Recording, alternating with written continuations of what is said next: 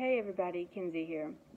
For those of you who don't know, I started a ministry called You Are Loved about five-ish years ago. The purpose of it is reminding others that no matter where they have been in life or what they're going through right now, they have a purpose, they matter, and they are loved. I do so by encouraging people, being there for others when they need someone to talk to, paying for the people behind me in the drive through, or whatever it may be. Every now and then I would do small raffles and the proceeds would go towards projects I was working on for others. However, I came to the realization that I was doing all that stuff for others long before I attached the name You Are Loved Ministry to it. Therefore, even though I will continue doing whatever I can to help others, I just haven't been near as passionate about what I initially set out to do. I still intend to one day make some of my goals from this experience come into existence. I just might have to go about doing so differently than I imagined or hoped they would happen. Overall, the way I was trying to accomplish everything was also heading into a very costly direction, and it wasn't going anywhere soon. Uh, plus, you know, as a college student with a very limited income and trying to pay my own way through school, a costly direction would not have been the best route at all. With that said, I determined that it was best to step back, reevaluate, pray on it, and go from there. I wholeheartedly trust that God will always provide no matter what, but sometimes He allows us to step back for a reason and we, that we may not be aware of yet. Um, despite over the last few months, I've been doing a lot of thinking on trying to find something I could do and be passionate about and still potentially make a difference. And so here I am making this video for all of you. I've always thought it would be exciting to make videos and thought it would be something different to do, although I had never had the motivation or courage to do it, nor have I bothered to make time for it. Even though there have been some uncertainties on my mind about it, I had several people tell me I should give it a try. And I felt that was God's way of reassuring me that I should go for it and see what comes of it simply because I had never told anybody about my desire to do it.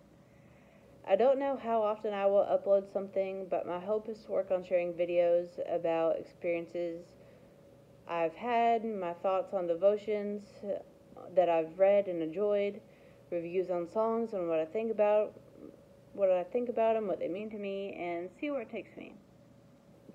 So, without further ado, I would like to focus on the Asbury University revival that took place back in the in February for the remainder of this video. Yes, we're currently in the month of October, and the revival took place in February, but we all got to start somewhere with each new endeavor. For starters, it's hard to believe that it's been eight months already since then, and that just goes to show that every minute is valuable, and we should spend our time doing what we love without looking back on what we could have done differently. Given that it was so long ago, I don't quite remember how the revival even started. Although, if my memory serves me correctly, then I believe it started out with a small handful of students who attend the university. Uh, they were having a Bible study together, and one of them decided to share his or her testimony. This individual's testimony was so moving that it took off from there and lasted for about three weeks or so on the university's campus. Although, please feel free to put in the comments below if you heard or remember something differently, or if what I said sounds about right. Now, moving forward to what I experienced when I went. From those of you who know me really well, you know that I've never been fond of doing anything last minute, simply because my medical needs and requiring a little more time than the average person to get ready and whatnot. However, when February 18th rolled around and I saw that the revival was still going on, there was something that came over telling me that I needed to go. While talking with my mom that afternoon, she mentioned having the same feeling for several days. It's one of those things where it's like, why that day in particular? What makes February 18th so significant compared to any other day that the revival is going on? And well, I'll tell you why. My grandma on my mom's side of the family, that day is her birthday, and on top of that, she graduated from Asbury University. She passed away a month before my sixth birthday, and she was my best friend. She was confined to a walker and wheelchair as well, so she, out of everyone I had known at the time, understood me the most. I've been missing her a lot more than usual lately, and to this day, I feel like that was her trying to tell me to go in her in memory of her. Thankfully, I was already dressed for the day, so I was in a position where, for once, I was able to load up and go. And that's, so that's exactly what my mom and I did. It was absolutely crazy when we got there. The campus was so packed that everyone was having to park several miles away, if not farther, and walk the rest of the way to the campus. As for the line of people waiting to get into the building where the revival started, the line was so long that my mom and I had about a five minute video of the line alone. It was already pretty late in the day when we got there, so we only stayed for a couple of hours, but it was time well spent. I can honestly say that I had never experienced anything like that before in my life. And don't get me wrong, I've had some pretty credible experiences, but I don't think any of them really come close to what I witnessed that day. Naturally, as every child does, I branched away from my mom and did my own thing. Everyone I encountered had a freeing, joy filled, kind hearted spirit that came over them as if there was not a care in the world for how they were going to make it through the next day, week, or month because the only thing that mattered in the moment was knowing God's in control. I can only hope that the majority, if not all, of the people who got to experience the revival have continued to carry that feeling with them to this day. As I roamed, I had these cards with me. On one side they said today's prayer, and on the other side they had encouraging verse on them. If I had to guess, I had roughly a hundred of those with me, and by the time we left, I only had five left in my hand. What would happen was I would hand one to somebody, and two or three people surrounding that person would would ask for one. I would roam a little farther, and the same thing would happen, and it just kept going. In doing so, it was crazy to see how many people were just craving to have a human interaction, someone who would listen to their struggles, and to simply have a little bit of positivity in their day. Ever since then, I have made it a mission to start carrying around these encouraging notes with me and passing them out to everywhere I go. The ones I've been using lately have a printed note on one side, and on the other side is it's blank for you to write your own if you choose to. I always like to write an encouraging quote, the, the ministry statement of "You are amazing, you have a purpose, and you are loved," with along with my phone number and name on each one, because it makes them a little more personal when you do. And I like including my number in case anyone ever needs someone to talk to, has a prayer request or whatever the reason might be. I just like being here for people. And the responses I've gotten from people have been absolutely incredible and life changing. In fact, talking about this reminds me of one of the quotes I use, which is If you want to lift yourself up, lift up someone else. And it was Booker T. Washington who said it. If you're looking for something you can do to encourage others without breaking the bank, then I highly recommend investing in some of these. While there are plenty of, op- of opportunities to be there for others and encourage them without spending money, these are very inexpensive. You can find all kinds of booklets on Amazon, as well as a website called Mary and Martha.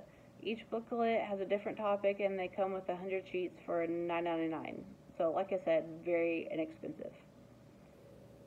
Aside from the overall experience that I had with people there that day, the environment was amazing as well. Uh, there weren't any food trucks set up anywhere. There weren't any tents or signs with websites or anything like that advertising revival merchandise or to collect donations. Everything was provided for the people who attended was completely free. There were stations set up all over the campus where you could grab some water bottles, chips, and cookies. And the best part in terms of food was the Chick fil A sandwiches. That's hands down one of my all time favorite places to eat. If you're looking for a good old chicken sandwich and waffle fries, then Chick fil A is definitely the place to go. Providing that the plain chicken sandwiches are $5 each, I don't even want to know how much money the company lost trying to keep up with the, de- the demands of all the people there. The whole experience just, just just goes to show that there is good in the world and it's not always about the money, it's about the people. All in all, the Asbury University was an experience to remember, and I hope to carry it with me for the rest of my days. Being able to gather around the campus and be surrounded by like minded people was incredible.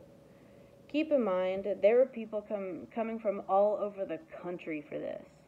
If the opportunity for something like this were to ever come up again, then I would love to be there to witness it. And I know if my grandma were still here, then she would be right there with me. And my closing thoughts to to those of you watching this would be don't ever let anyone or anything hold you back from doing whatever you desire to do. The only people capable of telling you what your limitations are would be yourself and God. You can accomplish anything that, that you set your mind to. You just have to be patient with it and give it time. The devil will certainly try to use your own thoughts and other people against you to tell you differently, but that's why you got to stand firm in what God says about you. Well, to those of you who made it this to this point, thank you for listening. Your support is always appreciated.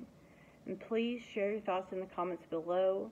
If you have anything you would like me to expand on, topics you would like me to talk about, questions you would like answered about my life as a disabled individual, or questions about the disabled community in general, or anything of the sort, then please put that in the comments as well, and I would be happy to make videos on it. And don't forget to hit that little thumbs up button to like this video and share the video with your friends and family. I would also love for you to hit that little subscribe button below this video and hit the bell to set notifications to all so you can be notified when I post new videos. And lastly, to my grandma, I love you, I miss you, and I cannot wait to be reunited with you again. Until next time, this is Kenzie reminding you that you are amazing, you have a purpose, and more importantly, you are loved. Bye, guys.